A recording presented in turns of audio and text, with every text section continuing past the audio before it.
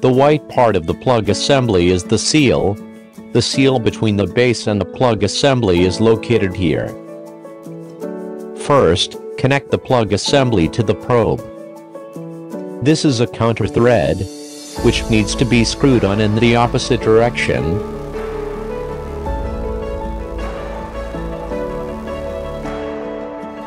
The base is typically welded onto the pipeline.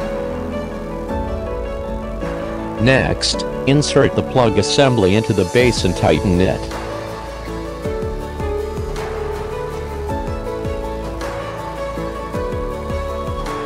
Then, install the protective cover on the base.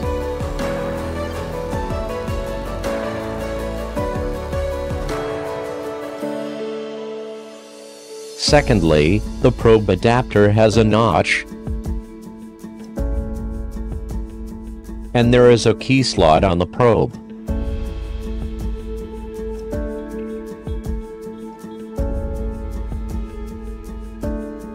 Insert the adapter and the probe correspondingly, tighten the threads, and also tighten the nut on top. The purpose of tightening the nut is to prevent the adapter from rotating during operation. Third, install the digital transmitter and connect it to the power supply, ensuring not to connect within the explosion-proof zone.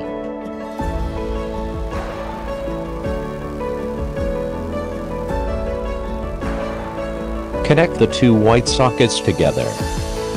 After a few seconds, a green light will flash, and then automatically turn off after a moment. After connecting the power, install the protective cover of the digital transmitter, and take it to the site. On arrival, remove the red protective cap from the digital transmitter's plug.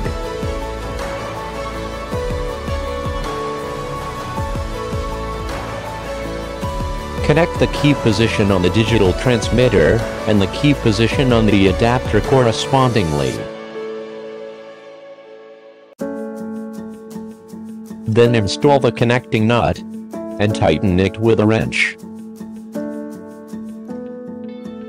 Finally, use the screw to lock it and the installation of the entire set of equipment is complete.